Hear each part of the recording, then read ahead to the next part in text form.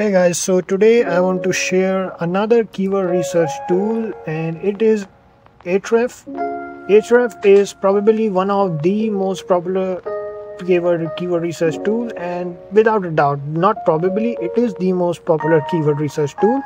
And uh, let's just discuss about it. Do I recommend it? Do I don't recommend it? What's going on here? So now for Ahrefs there are so many things like these are just a couple of projects and stuff and i don't necessarily use Ahrefs a lot. And uh, i'm gonna tell you the reason also. The reason i don't use Ahrefs a lot is this all right? I'm being very honest with you all guys.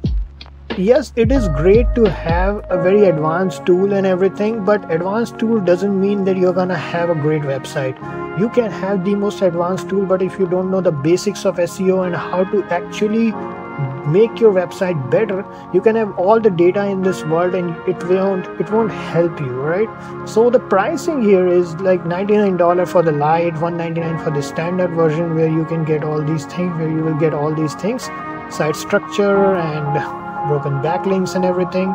Then there is 399 then there is 999 i think it's kind of pricey i mean i'm being very honest with you all so the best thing you can do is if you are starting out I think that Ahrefs should not be your first choice. There are other ways to find profitable keywords. I have shared a couple of ways on my website, on my YouTube channel, and yeah, I think that you should not be spending this much money on a tool which will give you give you a couple of good keywords i'm not gonna lie but there are other ways to find good keywords also. And at the end of the day one thing that i know for sure is keywords are keywords right? Wherever you find it from a profitable keyword will be a profitable keyword.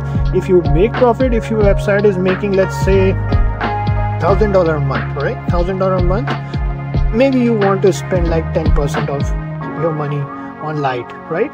If you're making $2000 a month maybe 199 is your choice. And just like that you can increase a little bit of uh, expenditure on keyword research tool if you are not making any money or if you are making less money than thousand dollars stay away from it. There is no need for it. And i love Ahrefs but Ahrefs is only good for people who are already making money or they know how to use it and it's just not good all right so i mean in the sense of pricing if they decrease the pricing someday because you can use other tools which are cheaper than this and they will give you profitable keywords. At the end of the day that's our goal. And then all the other things it's all well and good but i recommend you all to start with other tools which are cheaper than this because it's kind of pricey.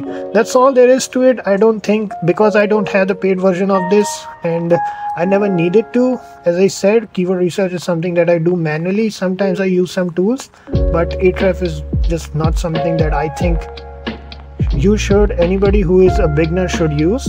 And if you are already making money from somewhere else and want to invest and want to test it out feel free. There is a trial. I think there's a trial I don't know if there is a trial or not, but if there is a trial, just you can ask their support and stuff. If there is a trial, go ahead. Other than that, that's all there is to it. And I will see you in the next one. Thank you.